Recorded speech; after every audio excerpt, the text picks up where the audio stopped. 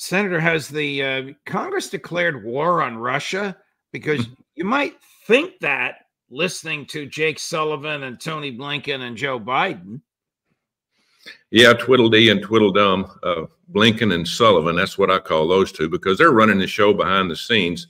Uh, President Biden is, I guess, okaying everything. But uh, you know, Judge, I went to uh, to see uh, Zelensky about three three months, four months before the war started.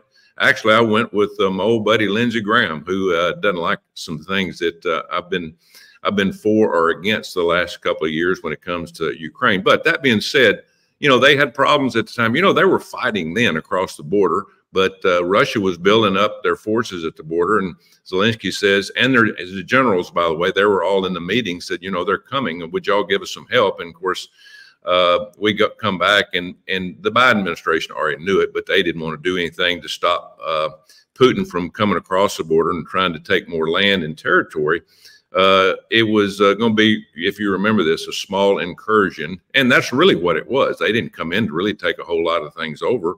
Uh, they just came in to try to make a point of, listen, you're not going to put these folks in NATO because I do not want uh, military bases from the United States in Ukraine and on and, my board. And because George H.W. Bush and Jim Baker and Bill Clinton all said it won't happen.